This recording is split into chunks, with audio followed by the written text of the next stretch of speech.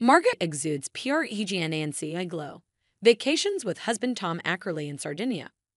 Barbie actor Margot Robbie is expecting her first child with husband Tom Ackerley.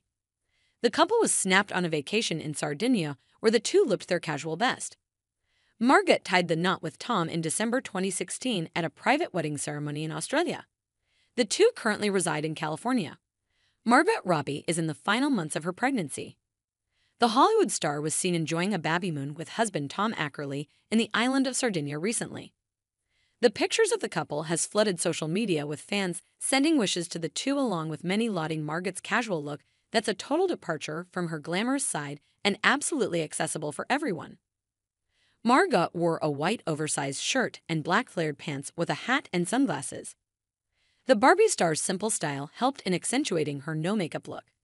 Flaunting her baby bump, the mom to be was at her vibrant best as Tom twinned with her in a white t shirt and tacky shorts.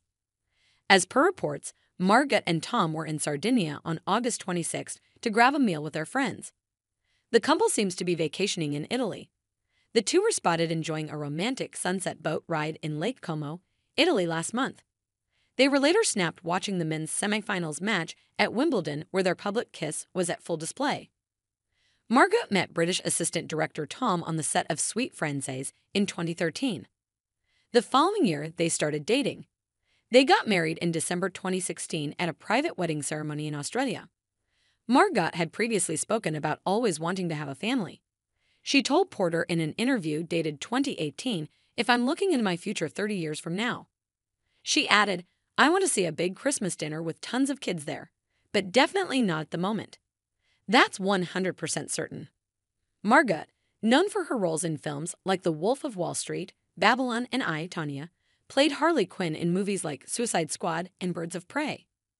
Her last outing was 2023 blockbuster Barbie. She would next be seen in the movie A Big Bold Beautiful Journey opposite Colin Farrell that's slated to release in 2025. 5.